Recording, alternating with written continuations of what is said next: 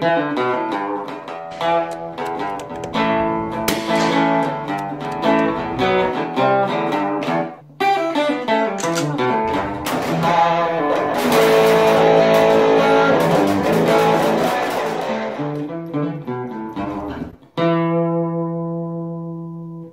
the organization of the U.S. Marshals, the police of the United States have always carried different sidearms.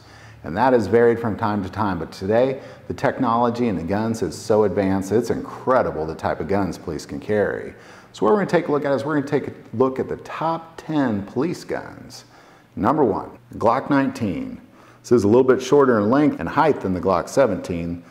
The Glock 19 is a 15 round, 9 millimeter duty weapon with a 0.49 inch trigger travel with trigger safety. It is accurate, dependable. It takes a beating and still does the job. Had a steel slide and polymer frame and can endure anything that Glock endures. And of course has the typical Glock sights. Number two, the SIG Sauer P226. This full-size duty pistol comes in 9mm, 40, 357 SIG. It is a double action, single action trigger and comes with a decocking mechanism. It was built in 1980 is the duty pistol of choice for military and police worldwide. It was originally based on the P220 design, but has a double stack. SIG sights, in my opinion, are about as good as sights get. Number three, the Smith & Wesson MP9. This full-size duty pistol is a 9mm 17 plus 1 capacity. It is striker fired with a trigger safety, steel slide, polymer frame, and low profile sights. This gun never really appealed to me after shooting it once myself. But a good friend of mine on security at church has this gun and carries it regularly.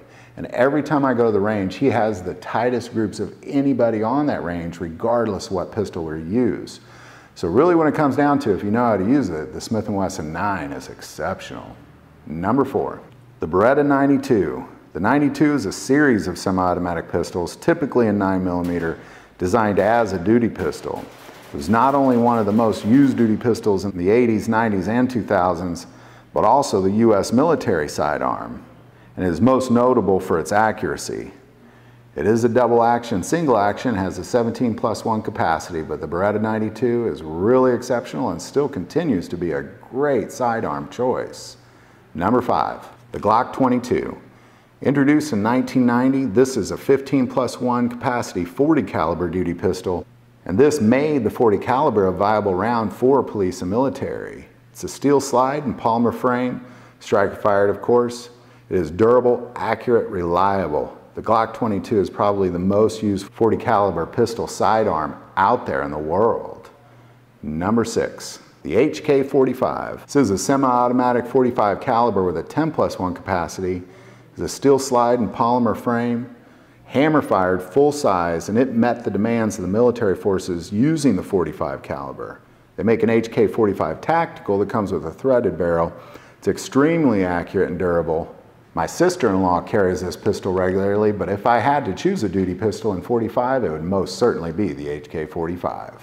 Number seven, the 1911. Invented by John Browning in 1911 and dubbed the M1911A, this is the most widely used sidearm of the last century and still is being used by many today. It's almost 3 million produced with countless gun manufacturers still continuing to produce the 1911 all the time, and it still is a duty pistol of choice. Number eight, the SIG Sauer P229. So This is a smaller version of the 226, single action, double action trigger that comes in a 9mm 40 or a 357 SIG. It has a decocking mechanism, steel slide, alloy frame.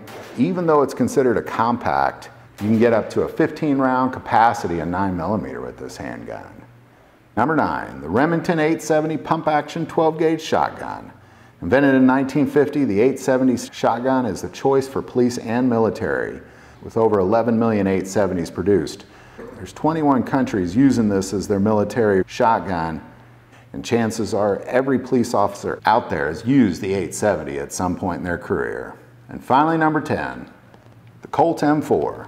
This is a shorter, lighter variant of the M16A1, firing the 5.56 by 45 NATO, typically used with a 30 round magazine. For me and you, it's a semi-auto, which is also available for police and military with the selector switch for full auto or three round burst. Countless police and military use the M4 as the rifle, And why not with effective range of over 600 meters? So there you go. There's my top 10 list for police guns. You probably have a bunch more I didn't mention. Put them in the comments below.